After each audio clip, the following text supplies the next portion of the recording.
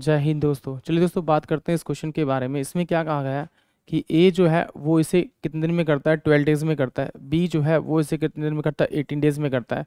इसका मैं एलसीएम निकालूँगा तो थर्टी सिक्स आएगा। ये बारह तीस छत्तीस होगा, ये अट्ठारह दूनी छत्तीस होगा।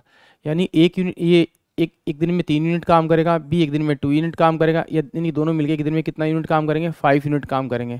क्योंकि इसमें क्या कहा गया A began to the work and they work alternate one at a time for one day each the whole work will be completed तो उसने क्या कहा? काम जो कराना है वो अल्टरनेट कराना है और ए से स्टार्ट करना है तो पहले ये तीन करेगा, ये दो करेगा तो टोटल पाँच यूनिट काम हो जाएगा। ये पाँच यूनिट काम कितने दिन में हो रहा है? दो दिन में।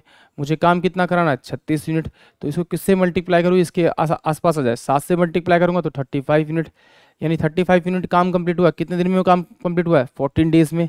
इस सात को इससे मल्टीप्लाई करेंगे।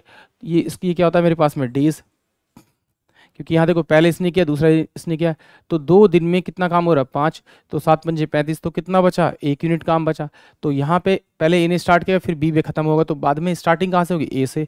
तो ये क्या हो जाएगा? वन बाय में थ्री डेज़ यानी कि क्या आ जाएगा आंसर आपका? Fourteen one by three days में पूरा पूरा काम कंप्लीट हो जाएगा। यानी कि जो ऑप्शन जो है आपका, वो ऑप्शन क्या होगा? आपका ए ही होगा, यहाँ पर फोर्टीन होगा। यानी कि ऑप्शन है आई होप आप सभी को ये क्वेश्चन समझ में आएगा जय हिंद, जय भारत।